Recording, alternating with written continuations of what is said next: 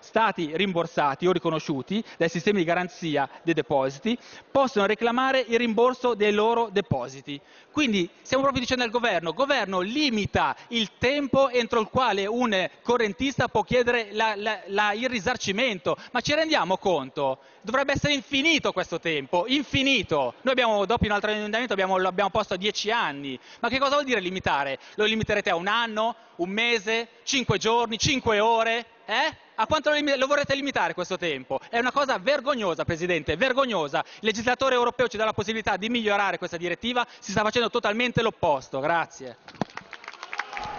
Ringrazio, Deputato. Allora, Deputato Causi, prego. Sì, Presidente, solo per far sapere all'Aula che in base all'attuale legislazione italiana, decreto legislativo numero 385 del 1 settembre del 93, questo tempo oggi in Italia è 20 giorni. Grazie. Ringrazio.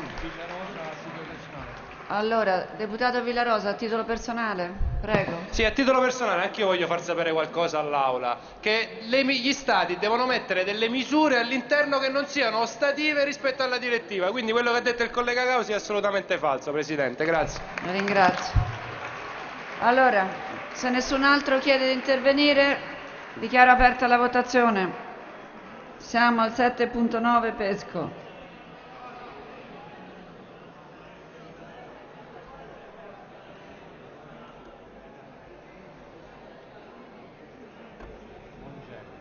Mongelli.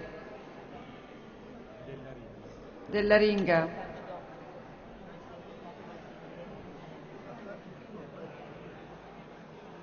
Palese. Palese. Palese. Caso. Caso.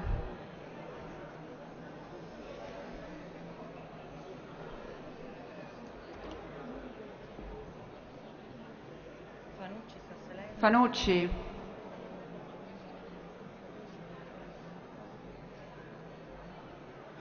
Videlli.